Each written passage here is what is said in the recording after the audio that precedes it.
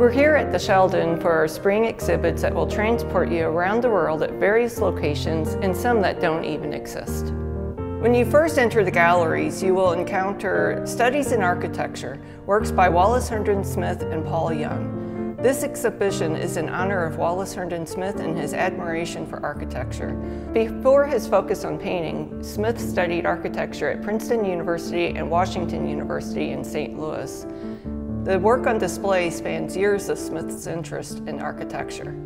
Also featured with Smith is Paul Young, a local contemporary sculptor. Young has spent years exploring St. Louis and the region's backroads, looking for old abandoned buildings to reproduce in miniature. Working from photos, Young creates scaled models with hyper-realistic details of exterior and interior details. Each artist renders everyday structures as monuments to human activity and purpose.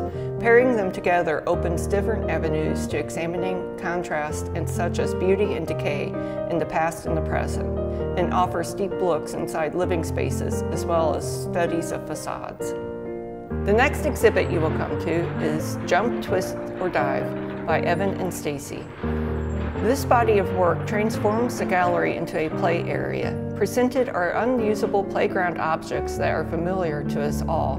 The viewer brings their own memories with a combination of fun and fear. And in the gallery is a bench where you can sit and reflect on your own experiences as a child.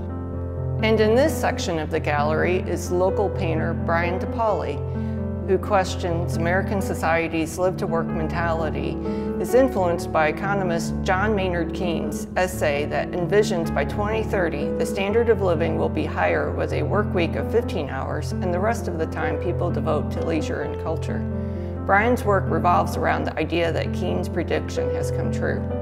And when you come into this section of the gallery, you may think you're looking at large-scale photographs, but there are oils on panel that are hyper-realistic in style.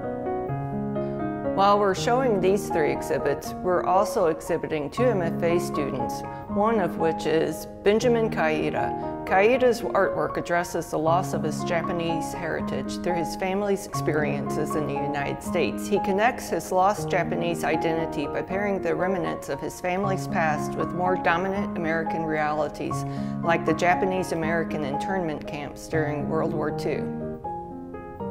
After March 29th, we will also feature Nacha Wang Changlaw and her work that explores immigrants and how they're treated based on their passports. We hope you can make it to the Sheldon to experience the exhibits and explore memory in place. The exhibits run through May 11th.